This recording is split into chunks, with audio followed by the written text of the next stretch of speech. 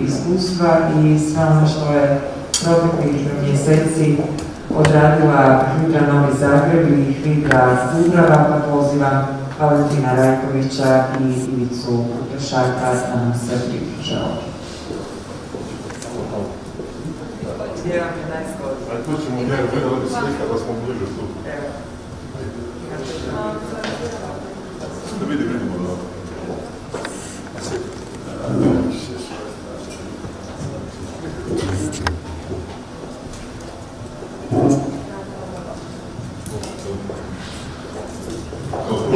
Dame i gospodo, pozdrav svima. Ja bih rekao, dragi prijatelji, svi se manje više znamo. Osim onih novih koji baš ne znamo, ali evo, većina se znamo u svezi svega. Mi smo danas dobili ulogu, ne samo kao predsjednici Hridora i udruga, nego smo ovdje u svojstvu i zapovjednika civilnih zaštita. Tu nam je Imi Jakovčić, tu mi je mjesto tu nam je kolega iz udruge Vojne policije isto vezan kao zapovjednik civilne zaštite Črnomerac. Evo, gledajući danas vaše ove programe što ste radili, svima bih se zahvalio.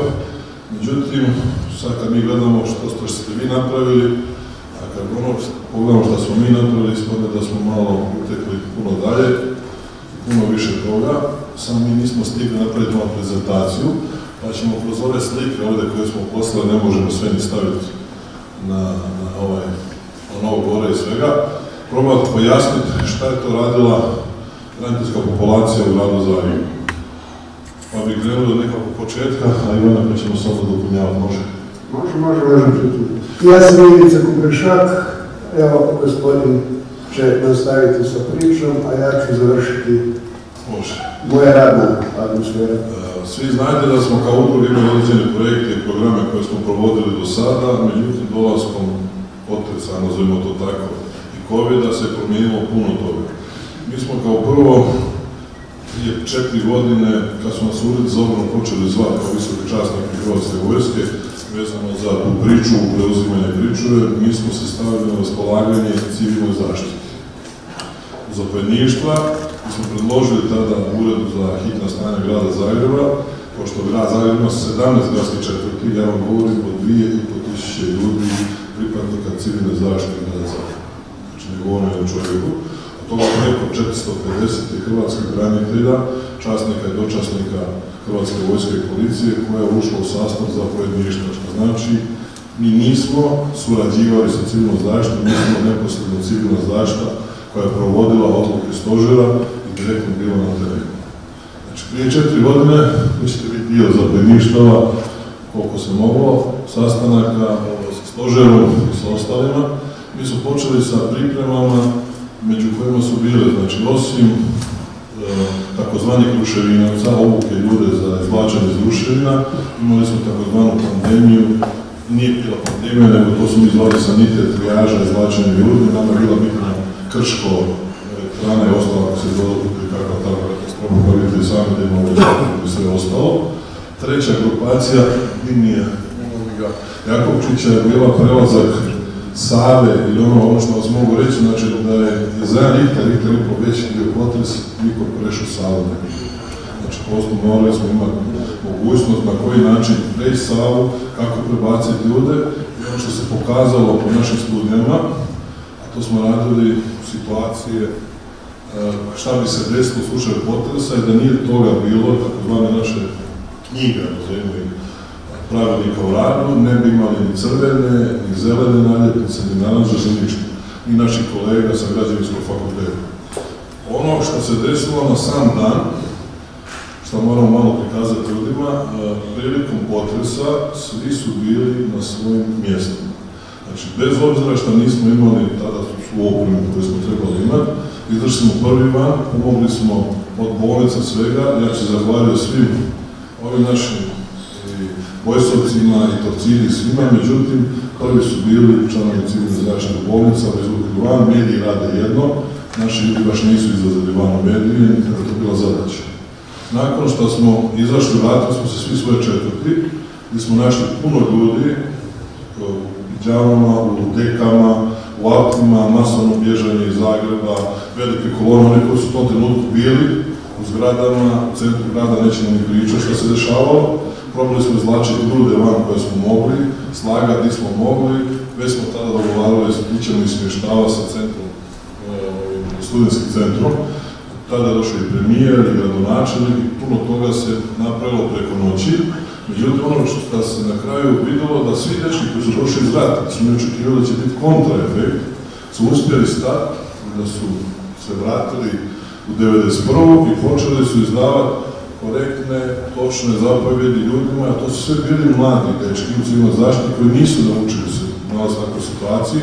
Ovo je bilo drugačije, tamo su izvlačili ranjene ljudi za vrijeme rata, prebijali, ovdje smo imali ljudi koji su stradali, u, do duše, hvala Bogu da nije bilo više mrtvi, bilo dosta ozlijeđeni i u tom trenutku, koliko je bilo neki 24 sata, tako nešto manje, smo shvatili da su ljudi počeli zvati sa svih strana ured za hitno stanje.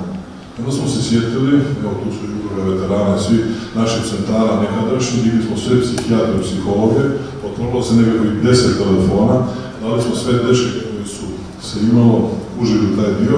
Vi svi ovdje govorite psihološka pomoć, od ime stručnjaka, ne ide to tako.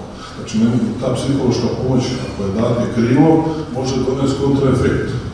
Ovdje bi se zahvalio katedri za psihologiju, profesoru Bunjevcu, našem psihologu Hermanu i svim mojima koji su stvarno uletili u tom trenutku, pokazali šta treba. Hoćete vidjeti slike Bunjevca i ovdje, gdje smo održali odmah predavanje za sve zapovjednike, zamjenike i dio ljudi koji su radili na tome. I onda je krenuo onaj, onaj prvi val, onaj 5 do 7 dana. I onda smo došli u situaciju da smo trebali vidjeti šta ćemo s našim ja govorim sada o Hvidri, mada su tu, tu je Dujić i svi ostali, udruge dragovoljaca, vidi šta ćemo s našim dečkima. Neki su imali operacije, neki su morali dijalizu. I onda su prve one sve ono što smo dobili, komplet opremu, išli od 100% pa redom davati njima, prevoziti, odrađivati. Čak smo u određenom trenutku se stvorila logistika preko noći, zahvaliti se i Dobrom domu, gdje smo dobili veliki broj donacija, kako, na koji način ljudi se na sve strane i smo dijelili hranu svim našim dečkima koji su radili na terenu, koji vidite ovdje, a s druge strane smo nosili svim onim našim braniteljima doma koji tada nisu mogli ni do trgovina, ni u odlaze dalje, svi koji su se javili dobili su ono sve što su trebali.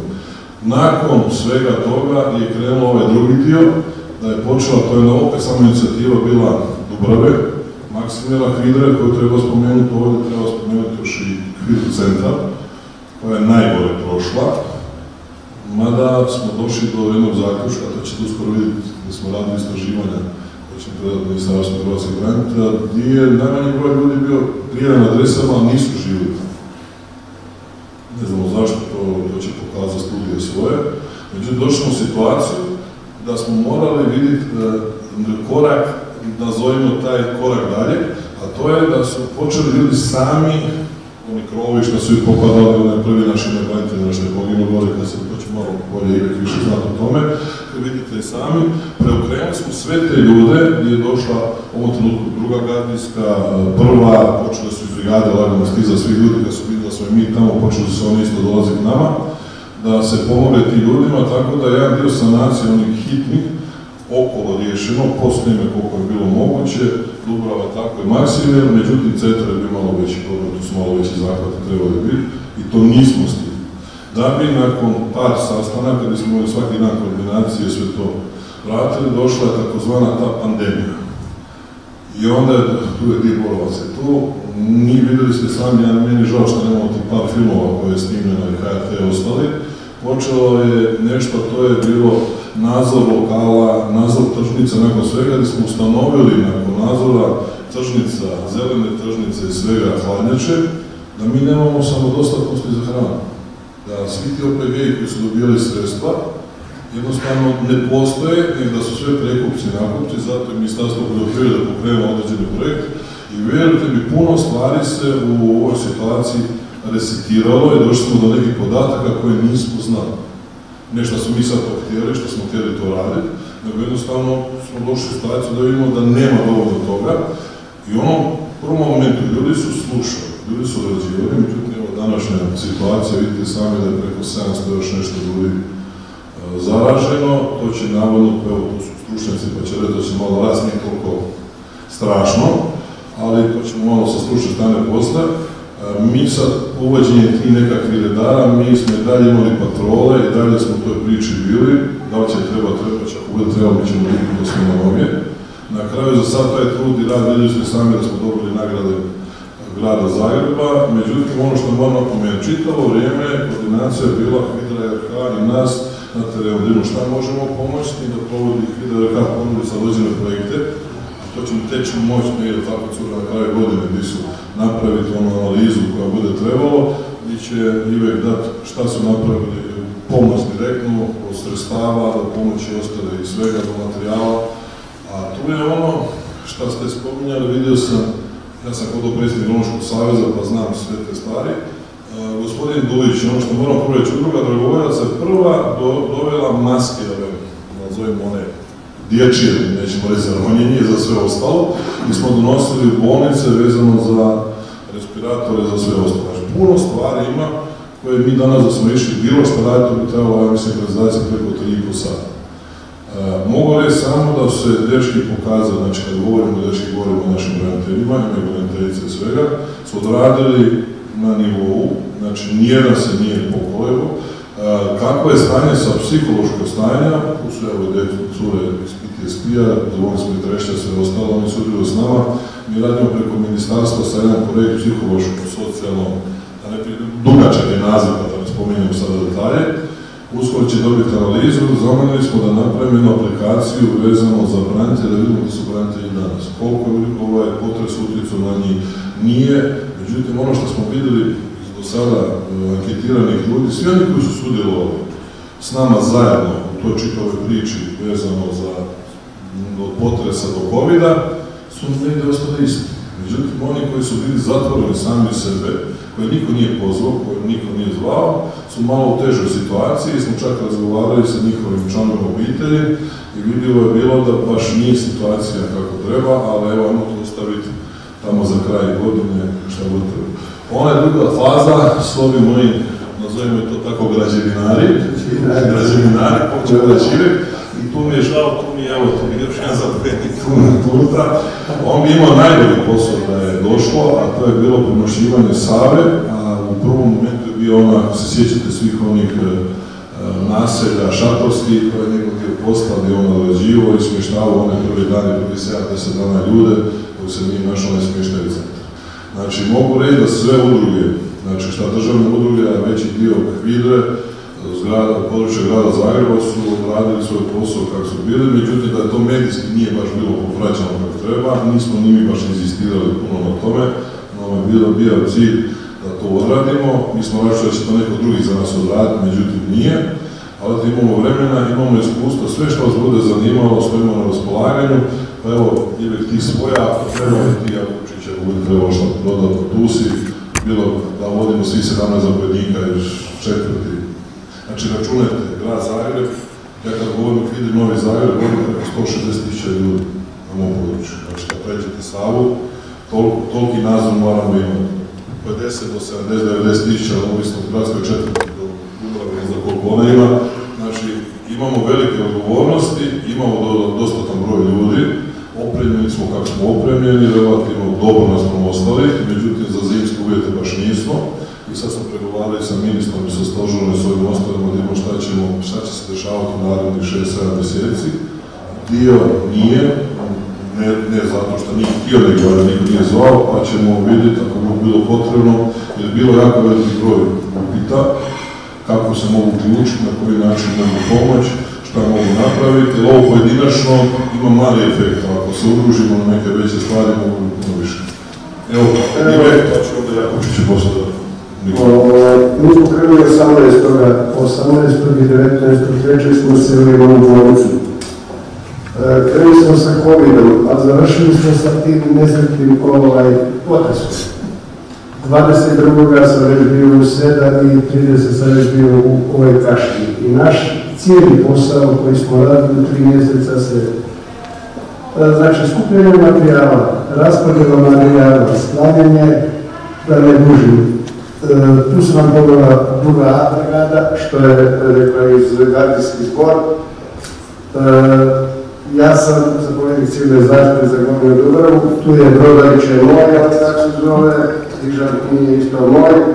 Ivan, Ivan koji nam je poginuo za vrijeme, to je jedan, čovjek koji pomaga gore nama na raspodjeli materijala, mi smo od 20 do 25 tona dnevno bacili po jednom kamionu, znači 50 do 80 tona smo bacili svaki dan. Izvlačili smo ljudi iz Buševa. Pomagali smo u gradu Zagrebu, isto u Dežovićevoj, Daškovićevoj, ljudi su kompletan centar smo pomagali, u centru nije imao ko raditi stvari. Vojska je prošla, obavila svoj posao, mi smo nastavili raditi, tako smo radili 81 dan. Evo, to je to, ništa drugo. Evo, ja bih samo htio reći, udruga veterana vojne policije, ja sam bio zapovjednik civilne zaštite za Črnomerac. Veterani vojne policije su dosta njih koji su ovlaštene službene osobe nekad bili, imaju sposobnost tako da smo mi njih školovali za vatrogasce, jer da bi bio vatrogasac izvlačenje iz ruševina, moraš proći tečaj i te stvari. Mi smo to radili prije i evo, da se sjetimo našeg kolege, inače DVD-a Kustošije, Davor Kovačić je umro na, jednoj intervenciji ovoga, gdje su bile poplave u gradu Zagrebu. Znači, vojna policija se angažirala na svem. Montirali smo šatore, organizirali čuvanje tih šatora, radili na, tome. Kad smo imali forsiranje Save, isto tako smo radili tuto kompletno sve. Znači, vojna policija je bila angažirana, veterani su bili angažirani zajedno sa Kvinom, zajedno sa postrojbama grada Zagreba, stručnim postrojbama. I evo, dali smo svoj obor i daćemo ga uvijek jer mi smo tu da, da, da s građanima podijelimo sve nevode i to to.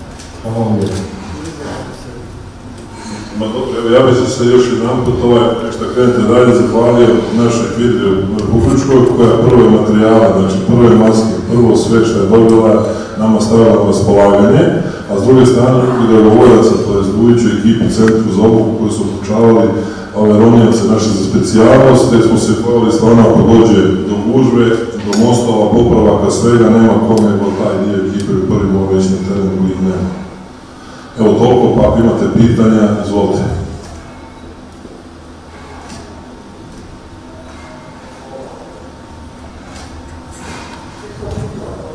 Ako, ako nema, Ja bih još htio samo nešto reći.